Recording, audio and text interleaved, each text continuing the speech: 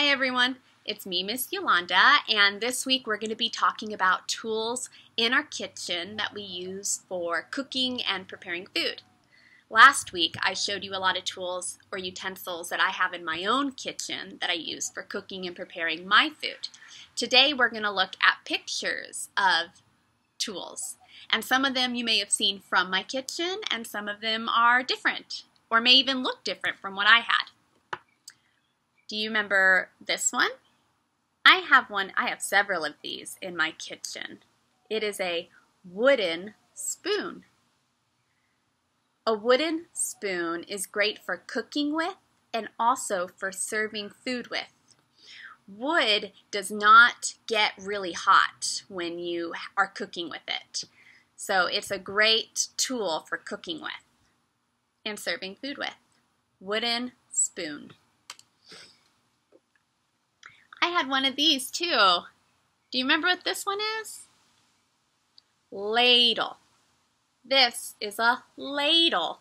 Ladles have a bowl at the end of it, and ladles are good for serving soup or some kind of liquid, a stew, punch, things like that. Ladle.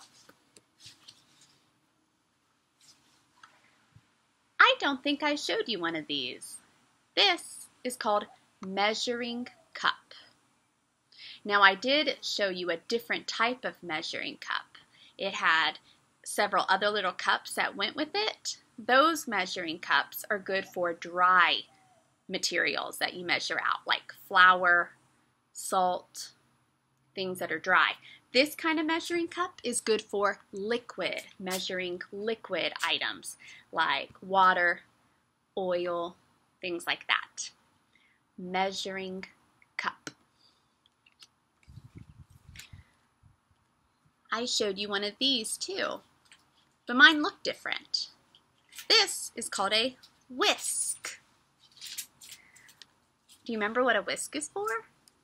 A whisk is really good for mixing maybe batter for pancakes or you're scrambling eggs. Whisk.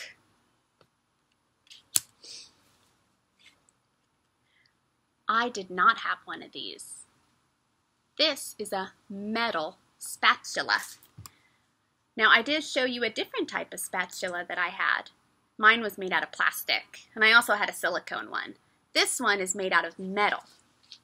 See how it's flat on one side, which helps with flipping, so it can flip a hamburger or flip a pancake.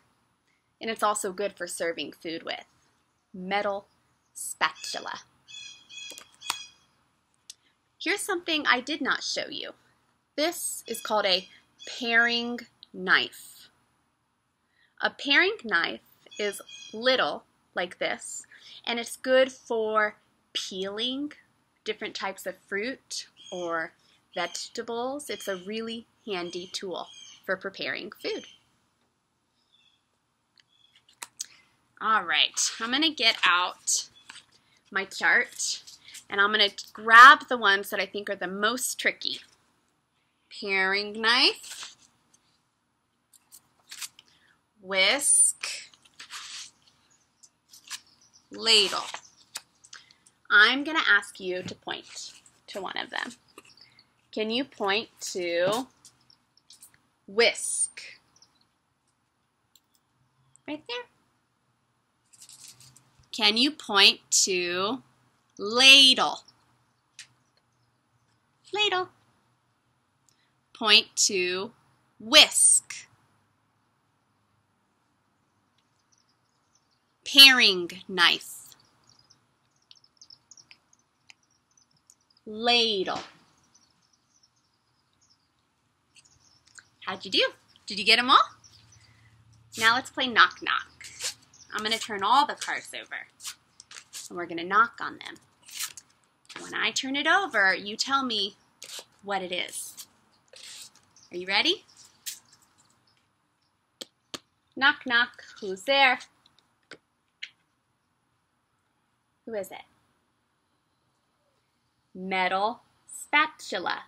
Goodbye, metal spatula. Knock, knock. Who's there? Who is it? Measuring cup. Goodbye, measuring cup. Knock, knock. Who's there? Who is it? Ladle. Goodbye, ladle. Knock, knock. Who's there? Who is it? Wooden spoon. Goodbye, wooden spoon. Knock, knock. Who's there? Who is it? Paring knife. Goodbye, paring knife. Knock, knock. Who's there? Who is it? Whisk. Goodbye, whisk. That was fun. I'll see you again soon. Goodbye.